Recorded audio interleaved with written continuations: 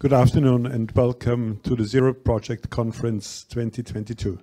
This is a fireside chat, and my host this afternoon is Janice Lintz. She's CEO of Hearing Access and Innovations and an activist. Good afternoon or good morning to you, Janice. Hi, good morning. Yes, it's real. It's very, it's early. Not as early as it was for the last presentation, but it's early. Wonderful. Yes, you already joined us for, for an early session. Thank you for your time. You're East Coast based, and this is a more, more civil hour.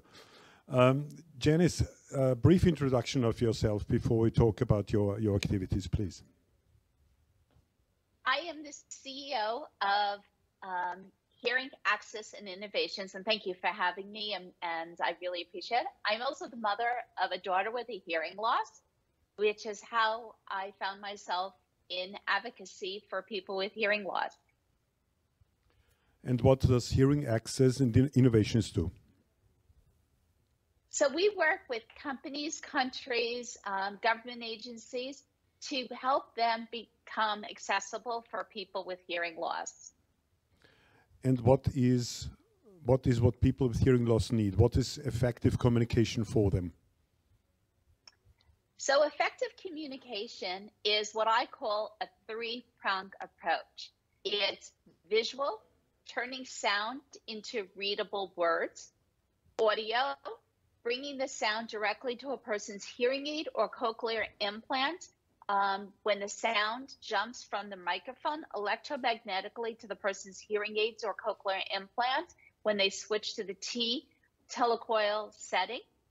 And then third, and then the third is sign language.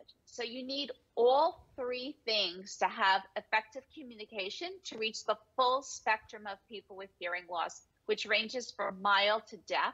And there's a lot of gray in between because people don't just fit into neat boxes. There's a lot of overlap between the categories. Janice, you are an activist, a quite experienced one, but what is the essence of working together? Why is it so important? Well, if you saw my presentation earlier, you would see I had a tremendous amount of slides and photos from around the world. Well, well, I travel extensively and I've been to 195 countries, territories, and unrecognized nations. I count and hope for people to send me slides showing the access in their countries.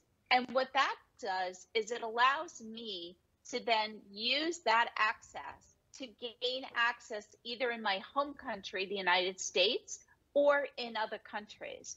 So, for example, right now I'm trying to bring induction loops which I just described, to ferries in the United States. And the way I'm doing it is I worked with people in Canada and Norway and Australia where they have the access. I use those photos to create federal comments for the United States and show that when a ferry company says they can't do it, that's a falsehood. And it is done in other ferries. And thanks to um, Prime Minister Trudeau, I had the CAD drawings from the British Columbia ships. And thanks to the Norwegian Department of Transportation, I had the contracts from Norway. That is invaluable. And I'm still at the more nascent stage on that project. But as I mentioned earlier, Ram, eh, um, Amtrak is adding induction loops to their rail cars that was feasible because I was on the U.S. Access Board's Federal Rail Committee, and I was able to show the access on trains in the UK, again in Australia. And when I had those photos, it made it no no brainer. They couldn't say no because they couldn't say it didn't work. Here it was. It wasn't like, can it work. It was like, why isn't it in the United States? So to me, that is working together. And then what I accomplished in the US, I work with other countries to help them as well. And to me, that is the very essence of how we're going to affect change by working together. Janice, how can we raise the bar when it comes to assistive technology? I think this is a common uh, thread we're all facing. Uh, how can we do that? Well, for me, this is a big issue and something that I have really um, taken the World Hearing Organization to task for. Because the problem is, you know, for the WHO, you have 193 member nations plus two observer states. There's a significant number of developing nations that the people in their countries don't have hearing aids because they, the hearing aids were unaffordable. I've worked, and I'm the person behind the in the United States making hearing aids more affordable with the over-the-care um, proposed hearing re- regulations. But you can't just go to one the same way we can't just provide access for one part of the spectrum of hearing loss. We can't just provide access for one part of the economic spectrum. We have to provide the whole economic spectrum the whole spectrum of people with hearing loss. Because if you always do it to the lowest common denominator, you're never going to progress. And that's just ridiculous. And we're never going to advance access. So we really need the WHO to raise the bar because they are really, in my opinion, not including induction loops because a lot of countries can't afford it. Well, there's a lot of countries that can afford it. Or and and we need to include that. And so again it's we have to include the entire economic spectrum globally. And then we help the countries who are not in a position to offer it to move towards that place janice uh, zero project stands for zero bar barriers uh, what in your opinion, are the biggest obstacles, the biggest barriers people with hearing loss are facing at the moment? Well, this is not going to be such a nice, pretty thing to say, but I think one of the biggest problems is we have people without hearing loss making decisions for people with hearing loss. And all too often, I see the access directors in various um, position, uh, the access coordinators use vis- have visible disabilities because when a company wants to hire someone, they want everyone to know that they have a, a disability and they're looking for someone with a visible disability versus an invisible disability. And hearing loss is an invisible disability unless you're deaf and you can see the sign language interpreter like you can in the corner. But when you have someone who is using a wheelchair or is blind or deaf making a decision about whether or not people who are hard of hearing need induction loops, that's inappropriate. That would like be like me making decisions about a different race than my own, which would be really inappropriate, or another race making decisions about my race. And when we turn some of these complicated discussions into a race base, the it's more obvious why it's wrong. But for far too long, people with hearing loss have been beholden to people using wheelchairs for making decisions about them. Then we also come into another place where people with visual impairments don't like induction loops because they want audio description and induction loops um, can't provide that. But people with hearing loss shouldn't have to wear an additional receiver because a person with a visual impairment isn't wearing a hearing aid or cochlear implant. As I always say for in the US, the Americans with Disabilities Act doesn't have a buy one, get one disability free. If people with visual impairments need another system to have audio description, then they should have that. But people with hearing loss shouldn't have to wear a device which they feel is stigmatizing because people with visual impairments need audio description. And that then brings in the problem where when people who are hard of hearing don't want to wear a device around their neck and they say it's stigmatizing, then you have disabilities who have visible disabilities saying, well, we have a visible disability and we can't hide why do we care whether or not you have to wear a stigmatizing device? And so what it does is it places a real um, tension between the various disabilities because people outside the disability world seem to think that one disability can make a decision about another disability. And then finally, the third issue is the perception is if you have a disability, you are an expert about the disability. That's not true either. Just because you put hearing aids into your ears doesn't make you a disability expert any more than I have a cell phone and I'm not an expert about my cell phone. And I've been to way too many um, meetings with people with disabilities who are access coordinators, and they have no idea about access coordination. They have no idea about their disability, and and and these are the decision makers, and it's terrifying. If you would hire a professional to, let's say, decorate your apartment, that's what you need to hire as a professional, but not just someone who has the disability. It most definitely should be not about us without us, but it has to be a knowledgeable, not about us without us person.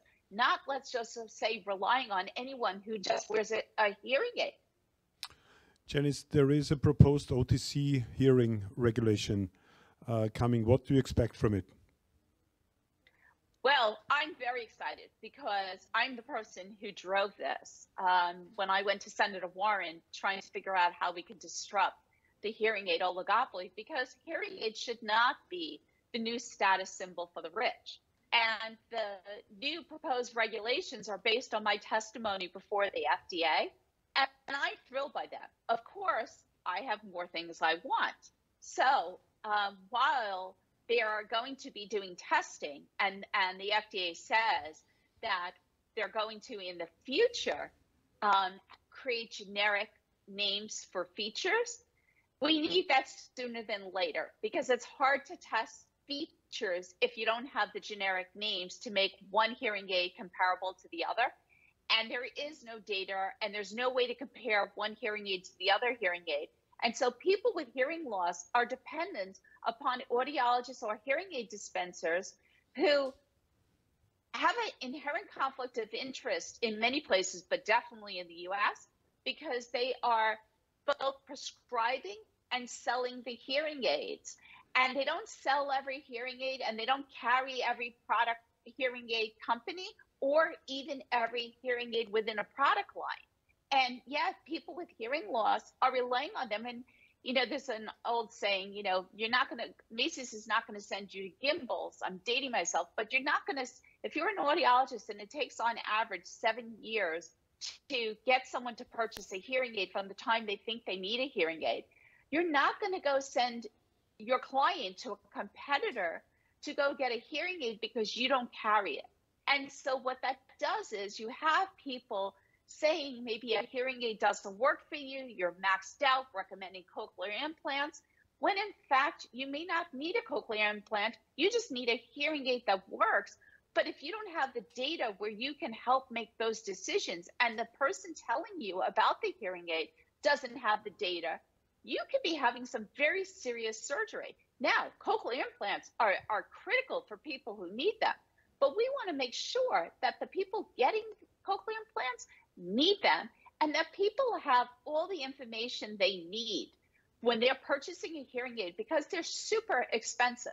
Now, even this, I did this based on my personal experience. We had an audiologist tell my daughter she needed a cochlear implant. It turned out there was a hearing aid that was available and the audiologist didn't know about it. That is just unacceptable. Now, I see where there are certain problems where in Europe, I know some countries are, people in Europe are afraid that the United States ruling is going to impact them because they have their hearing aids covered under their insurance, where in the United States, not so much. And we have to find a way to make that work so that we're not preventing the advancement of hearing aids and testing because of insurance issues between countries. That's not the answer of blocking advancement because of insurance issues between the two different countries and how um, hearing aids are covered. And I think that's more, let's focus on that issue, figure out how we can come up to a good solution, but let's not throw the baby out with the bathwater, so to speak. Thank you, Jenny. I don't know if that translates in all countries. thank you. It's always good to talk to you. You're such an energizing person. Uh, thank you so much. We have here in the studio, we have uh, our friend Petra Plichka, uh, who did some, some graphic facilitation, and uh, she's going to summarize our little conversation here. Petra, please. Yes, hello. Um, I tried to get um, all this energizing information over here to Vienna. Um, what we heard from you was uh, something very crucial. First of all, uh, make those people who are experts in their field experts. So having the knowledge on your disability is one thing, but you should also be a knowledgeable and a professional person. And these people should be involved when we talk about um, creating products um, that are suiting for the hard and hard of hearing or deaf people. And then we can go to companies and to countries, and you've been traveling all around the world to advocate for um, for your mission. And what you do is you say you rely a lot on pictures that you get, where like best practices happen. Um, so if a company or a country tells you, no, that's not possible, you can show them, well, yes, it is. We can do it. Um, it is possible to serve um, a good product and a good solution to people with who are hard of hearing or deaf. Um, you said there are three things um, that can help hard of hearing people to better understand. There's visual, so transform something to text. Um, then the audio signal being transferred to the T uh, through T-coil to a hearing aid or cochlear implant, or um, sign language. And it's important to include all the spectrum from people who are hard of hearing up to the uh, point uh, if they're deaf. And there's also a spectrum when it comes to money, be it in countries or be it in companies. Um, and the last message I want to point out is that uh, at the end you said, that's how it sounded to me, you must fit the aid to the person. So you must, ha must have ex um, experienced professionals who are not trying to sell their product, but to find the best possible solution for the person who needs an aid or um, some some support. So I think I, I hope I got it right. Thank you. You did. I love that. Oh my God, that is amazing. Thank you so much. Uh, thank you, Janice, um, for your contributions uh, twice today. It's always good to talk to you and uh, and have a good weekend. And uh, thank you for tuning in for the Zero Project Conference 2022. This was the last fireside chat. Uh, we will start the closing ceremony in the plenary in about five minutes. Thank you for watching us. Have a good day.